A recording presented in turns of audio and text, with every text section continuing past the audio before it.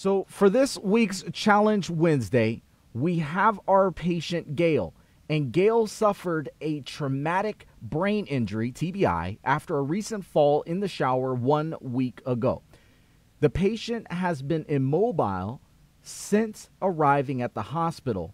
The therapist notices that the patient's right hip mobility is gradually decreasing and has become painful with range of motion activities. Which of the following is the best course of action? So we have A, contact nursing about providing pain medication before therapy. B, increase the frequency of therapy sessions focusing on hip mobility. C, alert the physician immediately of suspected heterotopic ossification. And D, modify the treatment plan to emphasize out of bed activities.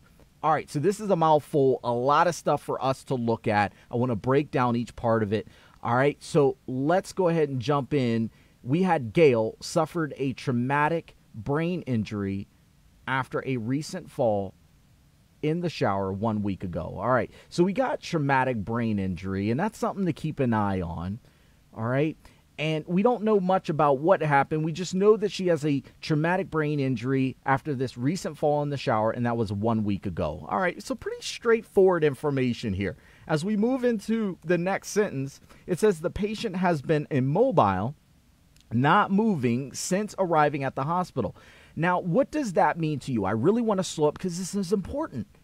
Patient had a TBI. We don't really know if the patient's in a coma or anything like that. We're not going to assume. We just know the patient had a TBI one week ago and has been immobile uh, since arriving at the hospital. Now, I already want you to really be thinking about like what does that really mean for this patient the fact that they've been immobile? Some of y'all are saying atrophy all right? Some of y'all are saying decreased range of motion deleterious effects of bed rest right? Potential dvt and all that good stuff. Okay so those are things that you want to be thinking about yes as we move through the rest of this question. Now, the rest of it says the therapist notices that the patient's right hip mobility is gradually decreasing and has become more painful with range of motion activities. I want to slow up there as well because notice how it does say the patient's right hip mobility is gradually decreasing. All right, so now we're seeing that the right hip is not having as much range of motion and it's becoming more painful. Now, what's really interesting about this is notice how it didn't say anything about the the uh, the knee. It didn't say anything about the ankle, and most of all, it didn't say anything about the left hip. Nothing about the left lower extremity, just the right.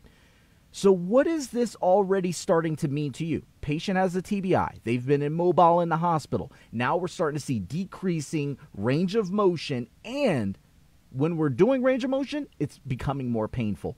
What are you starting to think of? Anything like kind of popping in your head right now? All right. Well, let's continue down. The last sentence, the question stem, it says, which of the following is the best course of action? So this is going to be an intervention. What do we do first? All right. So for those of you on the podcast, let's go through the answer choices one more time. A is contact nursing about providing pain medication before therapy. B is increase the frequency of therapy sessions focusing on hip mobility. C is alert the physician immediately of suspected heterotopic ossification. And D is modify the treatment plan to emphasize out of bed activities. All right. So looking at A, it says contact nursing about providing pain medication before therapy when I look at this answer choice, I like the fact that we're providing pain medication before therapy. It makes sense because the patient is having pain with range of motion. I like that.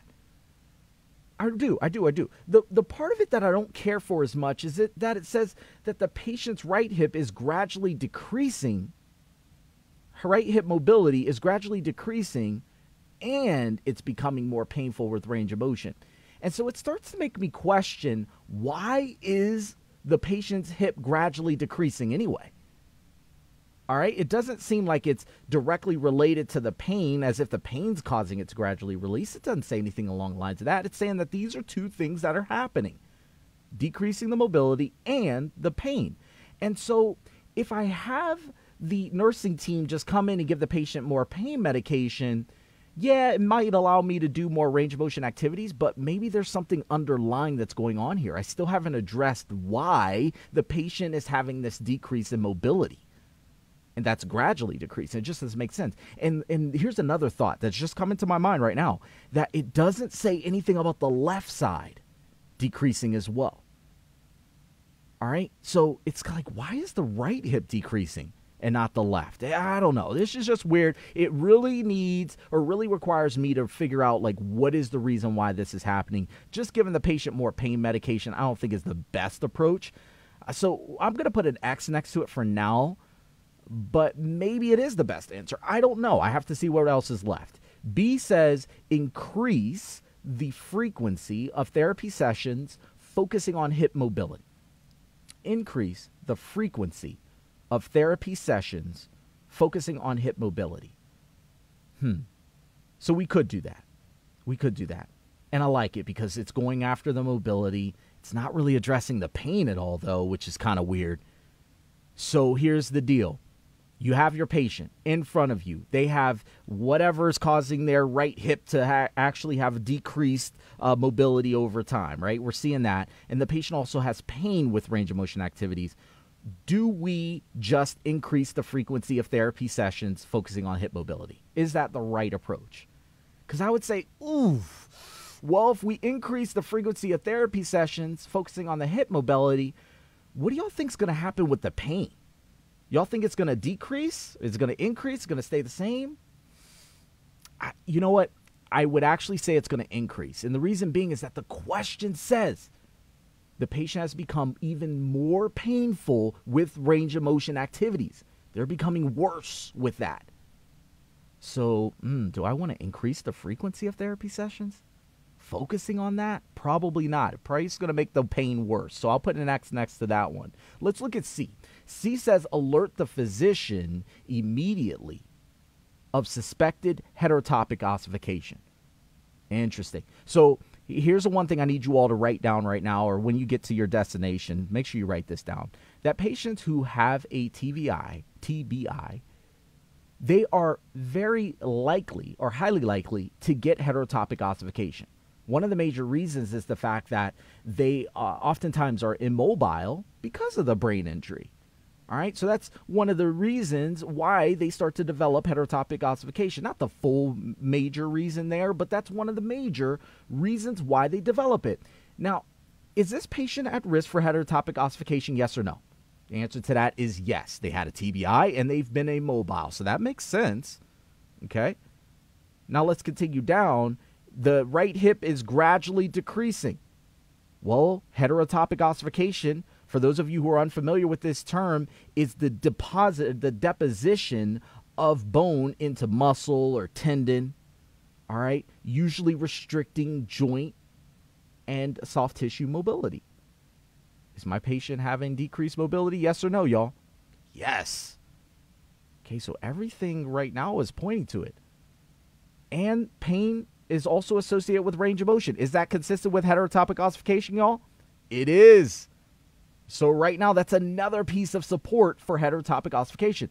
Now, the one thing I will say that was brought up to me, which is a very good point, is heterotopic ossification usually develops a bit later. Um, you know, you'll see it a lot of times showing up on CT scans and that sort of deal at four to six weeks. When does it actually start to occur? Mm, can vary depending on the patient. All right.